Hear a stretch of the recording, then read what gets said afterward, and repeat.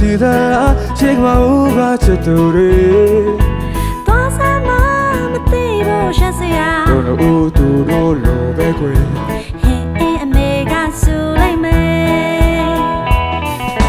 ရွှေစွန်ညိုရဲ့ဘာကြောင့်ဝဲရုံလို့ဆန်းတဲ့သူဟန်ကျွဲ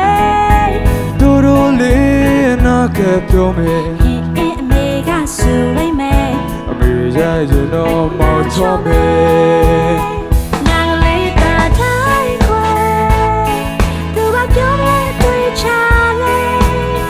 ကိုမှကြည်စမ်းလာတယ်သူ့ကိုမင်းကိုမမောင်ကိုလာတလေးလာတလို့ခွေ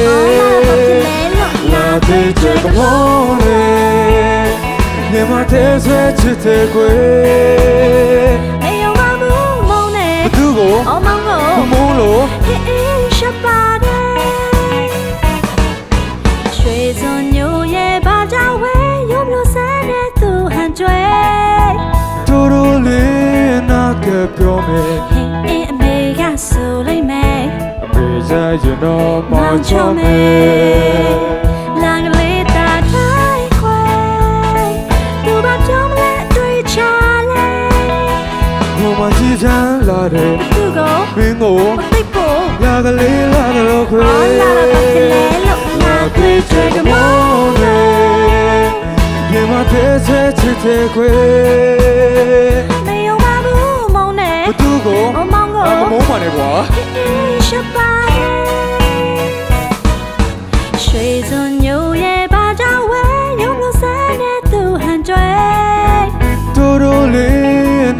နဲ့ပြောမယ်ဟေးအင်းအမေကဆူလိုက်မယ်အမေရရင်တော့မော်ချောမယ်